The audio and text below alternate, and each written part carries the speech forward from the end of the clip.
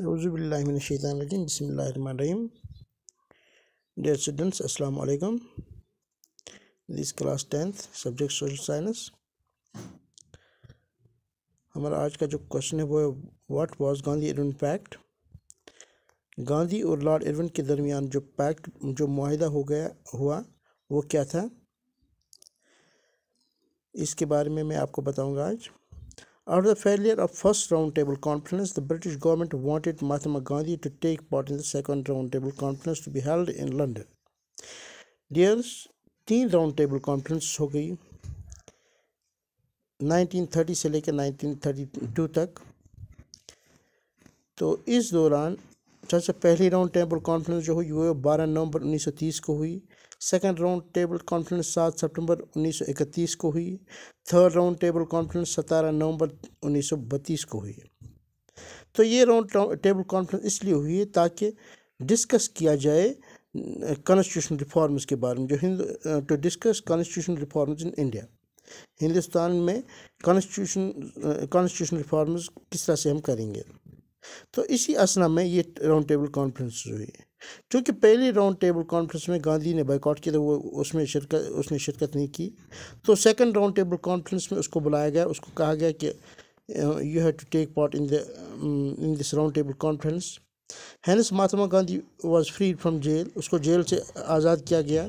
After it there was a pact between Mahatma Gandhi and the viceroy Lord Irwin उसके बाद इन दोनों के दरमियान एक माहिदा तय हुआ गांधी और लॉर्ड इरविन के दरमियान जिसको गांधी इरविन पैक्ट कहा जाता है it was sign in March 1931 March 1931 में इस इस पे दस्तखत किए गए By this pact, Gandhi agreed to call off the civil disobedience movement and the British government promised to real, release all political uh, prisoners except those charge with act of violence तो इसमें ये तय पाया गया कि जो भी political leaders हैं, उनको हम रिहा करेंगे, उनको हम छोड़ देंगे और एक्सेप्ट दोज पर्सन जिनके ऊपर ये इल्ज़ाम है कि उन लोगों ने वायलेंस की है।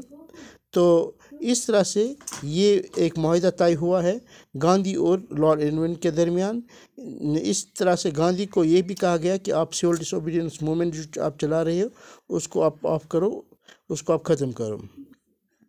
The second round table conference was held the second round table conference was held in London in September 1931 जैसे कि मैंने पहले ही बताया, सात सात सेप्टेम्बर नाइनटीन थर्टी वन को सेकेंड राउंड टेबल कॉन्फ्रेंस हुई वहाँ पे लंदन में।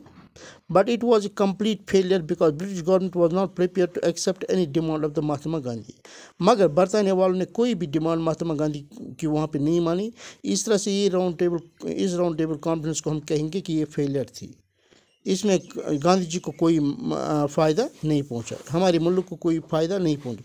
When Mahatma Gandhi came back to India जब महात्मा गांधी वहाँ से वापस आए Hindustan he found that all the important leaders like L Nehru and Khan Abdul Gaffar has been arrested along with many other people in India इसने देखा कि मुख्तलिफ़ leaders जैसे जिनमें जवाहरलाल नेहरू था, खान अब्दुल गफ़ार खान था, और भी बहुत से लीडर्स थे, उनको अरेस्ट किया गया हिंदुस्तान में so he started the movement तो इसलिए इसने ये जो सिविल डिसोबीडियंस मूवमेंट जो इसने बंद किया था तो उसको फिर से शुरू किया।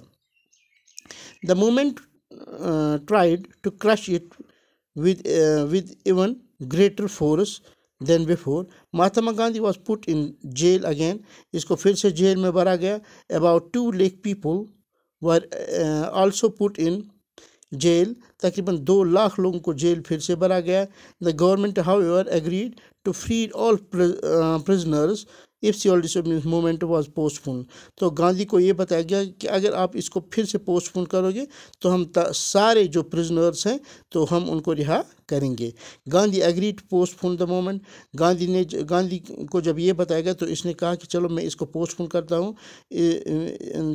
The moment was successful in feeling the spirit of nationalism in the hearts of the people of the country तो इस मोमेंट ने हिंदुस्तान के लोगों के दरमियान नेशनलिज्म को बेदार किया। लोगों को ये लगा कि we have to fight unitedly then we can get the goal of independence आज हम इतना ही पढ़ेंगे।